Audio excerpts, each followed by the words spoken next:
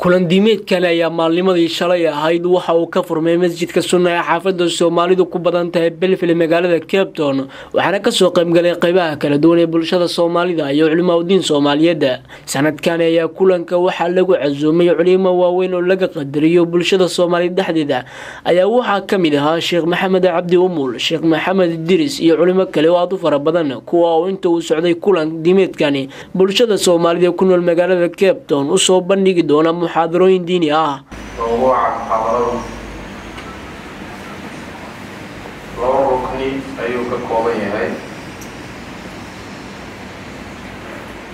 Labada ruknina waxaan is leeyahay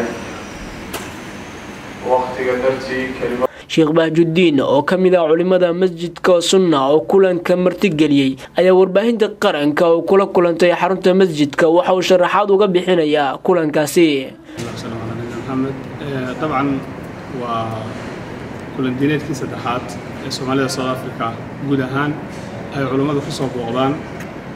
Maantana wuxuu mar labaad dib uga furmay magaalada cape town. Horey wuxuu uga soo furmay johannesburg uu soo dhammaaday. Haddana wuxuu ka furmay magaalada cape town. Runtii waxaa ka soo qayb qaatay culummo aad u fara badan oo ka yimid daafaha caalamka.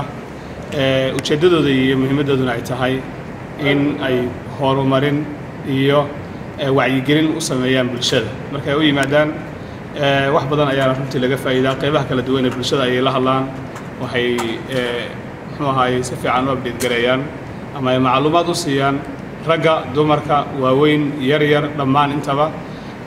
Wax badan ayaana runtii horumar fara badan laga helaa oo laga faa'iidaa shir sanadeedkan ayaa kii saddexaad oo lagu qabto wadankani south africa. Ayaa culimada inta uu socdo wadankani waxa ay ku tegi doonaan magaalooyinka waaweyn ee wadanka south africa sida port elizabeth rustenburg iyo magaalooyin kale waaweyn oo si la mid ay ula kulmi doonaan jaaliyadaha soomaalida halkaasi ku nool.